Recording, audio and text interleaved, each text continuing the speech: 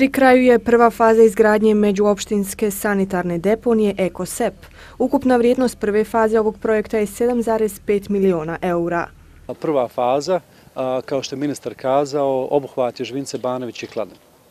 Od toga, od 7,5 miliona eura, imamo 2,5 miliona eura su grant sredstva od strane Švedske side, 5 miliona eura jeste kredit od strane Europske banke za obnovi razvoj.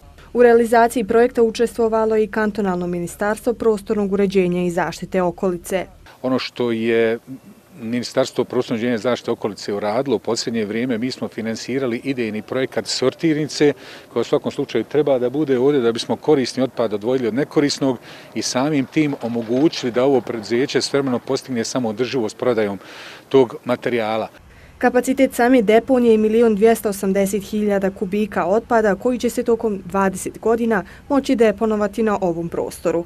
Pri izgradnji sanitarne deponije korišteni su najsavremeniji materijali. Trenutno se izvode e, radovi e, na na zemljanim iskopima, odvodnim kanalima i objektima u sklopu deponije. E, santana deponija će biti sanitarna samim tim što ćemo ugraditi u tijelo deponije niz e, geosintetika koji će spriješiti prodor te otpadne vode i zagađenje e, samog tla i vazduha. Po završetku e, prve faze moćemo deponovati smeće, u nekim narednim fazama će biti fokus na preradi samog otpada, tako da će se samim tim produžiti radni vijek deponije.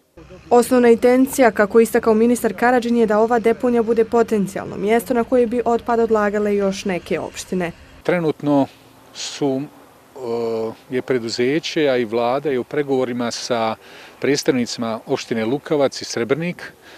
Također imali smo neke inicijalne razgovore i sa gradonačelnikom Tuzli da se otpad odlaže na ovu deponiju. Trenutno se otpad odlaže na nesanitarne deponije. Ministar Karadžin dodaje da trebamo shvatiti da otpad nije smeći i da može biti vrlo korisan, da se njime mogu smanjiti mnogi troškovi. Naglasio je da se trebamo okrenuti prema razvijenim zemljama koje otpad koriste u brojne svrhe, poput proizvodnje električne i toplinske energije.